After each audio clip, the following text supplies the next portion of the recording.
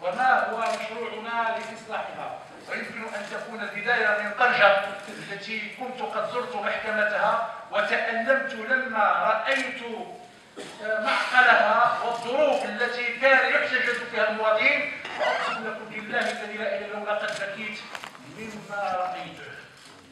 والآن الحمد لله بعد جهد جديد حصلنا على بقعة والآن ستبدأ يعني يبدأ البناء.